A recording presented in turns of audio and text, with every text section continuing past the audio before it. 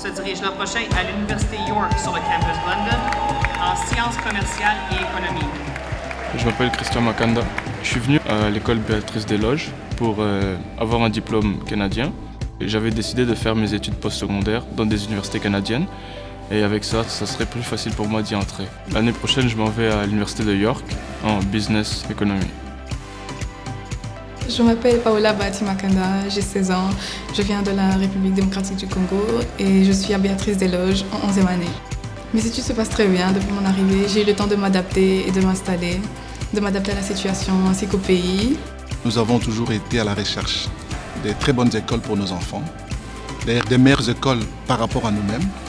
Et dans cette recherche, nous essayons de joindre aussi la foi chrétienne parce que mes enfants ont été éduqués dans la foi chrétienne. Ce que j'aime le plus à mon école, c'est la variété, la diversité dans les domaines, dans les sports, dans les arts. D'ailleurs, moi, je me suis inscrite il n'y a pas longtemps à l'équipe de soccer. Donc, le soccer, c'est le football. À l'équipe 9-12 de filles, c'était intéressant. Les personnes étaient gentilles, accueillantes, donc c'était vraiment bien. J'ai particulièrement préféré le soccer parce que ça m'a permis de faire beaucoup d'amis. Il y avait une bonne ambiance dans l'équipe et ça a permis de développer mon entourage. Surtout l'orientation scolaire c'est très fort ici. Euh, dernièrement, on avait fait une activité, on était à l'université et il y avait des ateliers dans différents domaines, donc tu pouvais choisir le domaine qui te concernait. Un système d'enseignement, je dirais, personnalisé, adapté aux aptitudes de l'enfant.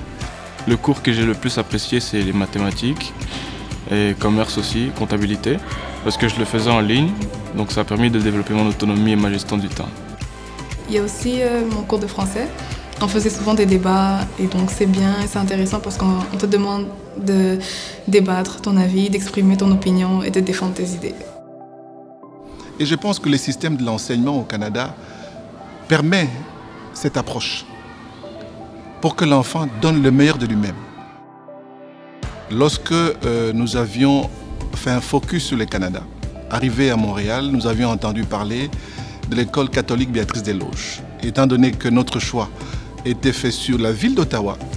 Et nous n'avons pas hésité un seul instant à venir frapper à la porte de Béatrice Desloges. J'aimerais poursuivre mes études à l'université ici au Canada. Et je vois le domaine de la médecine, donc le domaine de la santé. Donc c'est ce qui m'intéresse. Oui, je recommanderais ce programme aux autres élèves parce que ça pourrait être une passerelle comme un pont vers euh, ce qui les intéresse. Et ils pourront aussi bien être orientés à cause de l'orientation scolaire qui est très fort au Canada.